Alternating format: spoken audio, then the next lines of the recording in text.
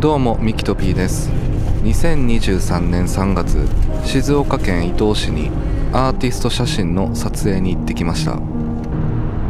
天気予報は曇り時々雨だったんですが今回のチームに晴れ男と晴れ女がいたせいで後半は青い空がちらちら見えていました。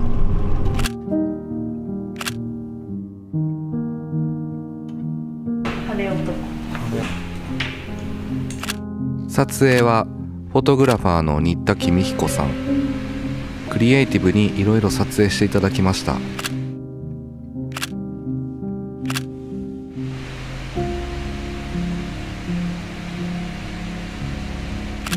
この鳩屋ホテルは以前から行ってみたい場所でしたので今回ここでの撮影は一つ夢を叶えたということでもあります。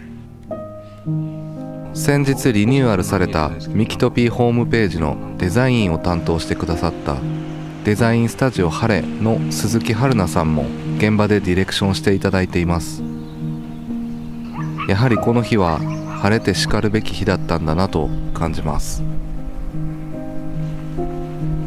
さてミキログという名前でこの Vlog を撮ってみたのですが今回撮影編集カラーグレーディングを映像作家の田中直人さんにお願いしました。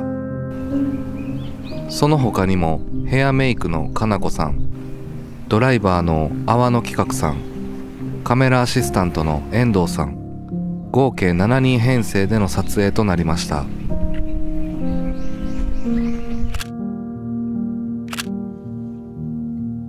僕もカメラを少しかじっていたりするのでこの日はスナップを撮ったりしていました。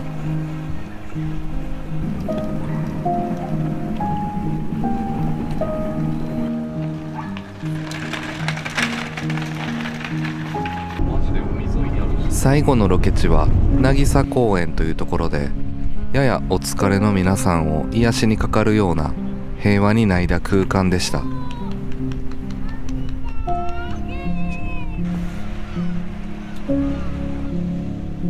アーティスト写真の撮影は約5年ぶりの刷新となりますが5年の歳月にもいろいろありました。話していないこともたくさんあるような気がします。そんな長いようで短かった5年の上に今の自分があることを思えば何やら急に増えた白い髪もなかなか落ちない背中の肉もまあ悪くはないかなと感じる。そんなことを思う一日になりました。今年も春が来ました。皆さんどんな音楽を聴いて過ごされてますでしょうか？それではまた。Mm-hmm.